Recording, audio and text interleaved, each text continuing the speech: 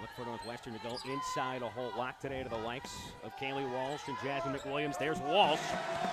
And Northwestern on the board first. But she's also so smart with the basketball. Wow, pushing in transition after the steal, and she gets the bucket.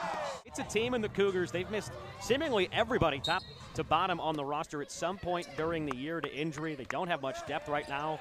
Great inbounds play as Lau is on the board again. Her second bucket, she's got a game high four. Another turnover for the Wildcats. Oklichka without numbers went straight to the hoop, but Caileigh Walsh was having none of it. Rainey back to Lau, top of the key, high archer.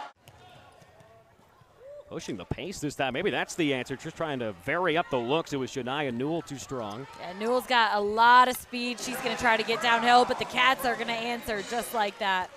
Laura, what did you see from Chicago State? Able to hang around in that first 10 minutes?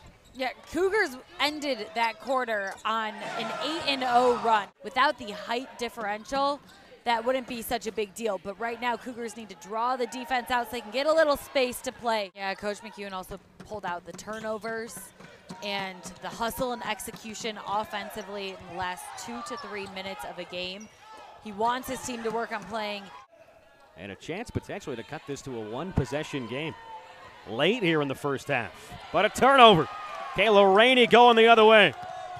All the way in, coast to coast with the left hand.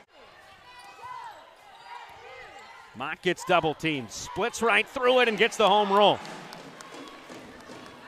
Chicago State head coach Andrea Williams. She said, Our team plays up to the level of the opponent. They have a lot of fight in them. A defensive lapse and an easy tune for Caileigh Walsh, who's got eight. Does a really good job moving the ball. She's a pretty patient player, but hasn't been able to get it going yet tonight. Caileigh Walsh is really getting it done here in this third quarter. She scores again. Norris, who leads the team, shooting 47% entering tonight. Wildcats lead by 12. Good pass from Brown, and one for Caileigh Walsh. Brown got all the way in, did all the hard work there. Gets a deflection, though, gets the steal, and finishes the bucket and the foul. Brown looking at inside for Wall. She's got 11 points this quarter. Does she have an assist? Caroline Lau remains perfect from the field. She gets the three, a new career high. The first year has 16.